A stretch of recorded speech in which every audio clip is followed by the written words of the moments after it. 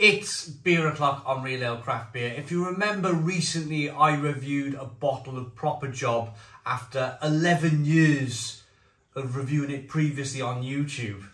Now, as it happened, I kind of stumbled across a a new feature on the channel, a new direction I can take the channel, a new mini series, if you like, of me having not reviewed a beer for over 10 years I have a look at the YouTube channel when I first reviewed it, work out the date.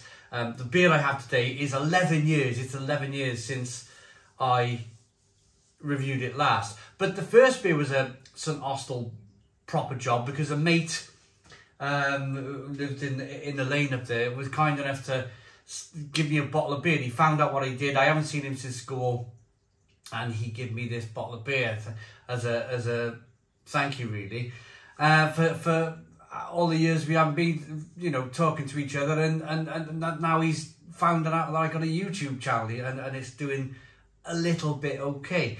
Um, so then uh, we got another St Austell Brewery beer to follow up on, and it's a complete coincidence how this has happened because a friend come here, um, he brought four big cans of of St Austell's Tribute Pale Ale and we didn't get round to drinking them, so he left them in the fridge. He said, enjoy them, enjoy them. So I thought to myself, let's open up the computer, let's have a look and, and see how long it's been since I reviewed Tribute.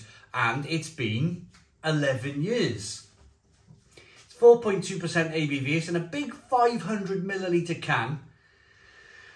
Let's get it out into a glass, see what we get. Now, back in the day, when I reviewed this first and foremost, you couldn't buy this beer in Wales. You certainly couldn't buy it in a can. You certainly couldn't buy it in a supermarket. It was a case of speaking to St. Austell, who were a small brewery at the time, and asking them if they would kindly send me up some beers to review. That's how I used to kind of get by with this YouTube channel is to politely ask brewers would they be willing to send some samples for me to review. Um, they agreed. It was I remember really enjoying it. I remember loving Tribute, really really enjoying it when it 11 years ago. I, I, I do remember the review in my kitchen just behind you. Um, I think I gave it something like a 9 or a 10 out of 10. I was thoroughly kind of overawed by this beer. But I have had it since because it's in lots of different supermarkets and my mate likes to drink it, so he always offers me a can. I have had it since and I think it's changed slightly since I first reviewed it. So let's get into it then. We got a one finger white head,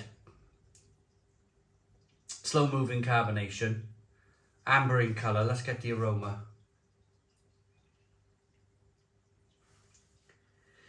Yeah, it's more of a, I'd say it's more of a best bitter these days. It used to be really hoppy. It used to, the hops used to jump out of the of the bottle back in the day into your nose, and now now it's not quite. It's got more of a best bitter, malty, biscuity aroma to it. Which is a little shame, I suppose. Let's dive in.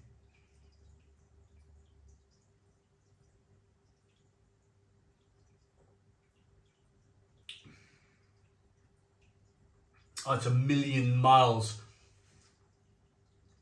It's a million miles from what it used to be. A million miles. Um, it's a real shame. It's a real shame because I thought Proper Job was outstanding. I thought Proper Job was a terrific example of an IPA, especially in the supermarkets. Being able to pick it up at your local small Tesco Extra, three bottles for a fiver, I thought it was terrific. But this it's definitely changed.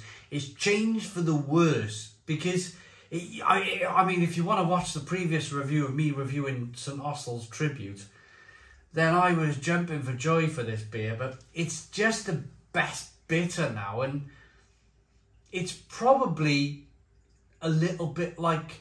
And there's nothing wrong with London Pride. There's nothing wrong with this beer, but it's. It tastes like London Pride now.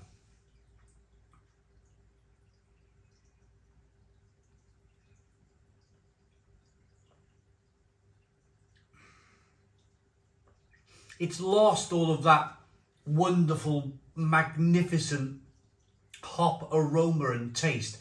I remember marmalades and grapefruits, and it was mixed in with this kind of darker beer. It was definitely this colour, so you'd have all those wonderful American hops, but combined with like biscuit malts, and it had a lovely balance to it, and it was really flavoursome and lovely.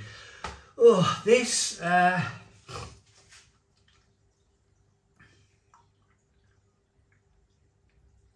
I mean, if you handed this to me at a, at a barbecue, uh, I'd sit and quite happily drink it.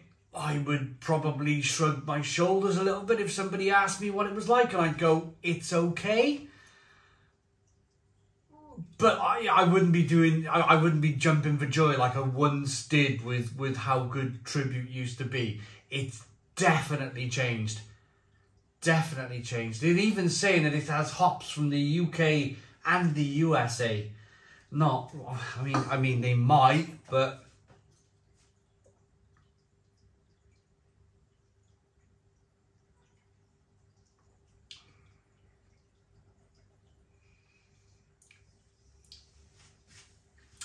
They're describing it as zesty and fresh. It used to be really zesty. It used to be terrifically zesty, this beer. It's a real shame. And I suppose let's let's talk about it. It's it's a case of success. St Austell have become a very, very successful brewery in the UK. They really have. They're still independent but with success comes a decline in the quality of your beer, unfortunately. The bigger the brewery gets, the more they rein in on the quality and they it's it's a trait in British brewing, I would say. It's a, a trait of of of the further and the better the brewer would go, the more they would rein in on their quality. I mean, just look at Brewdog's Punk IPA for if you want an example of what a beer used to taste like compared to what it tastes like today. It's a completely different beer. And so so too is Tribute, unfortunately. This Tribute is a completely different beer to the beer that I once fondly remembered. This now probably sits on the shelf along the lines of Abbot Ale, Greene King IPA, Fuller's London Pride, where it's acceptable beer. You're not going to pour it away. There's no bad smells. There's no off flavours. Everything's doing what it should do but it's just a bit boring. Shame really, shame really, but there we go. I'm gonna rate it. Yeah, I'm gonna, I'm gonna say from where Tribute was to where Tribute is now, this is a five out of ten. A five out of ten from Real Ale Craft Beer. Please put your comments in the comments box. Subscribe to our daily beer and food reviews. Give us a big fat thumbs up. Boom. Cheers.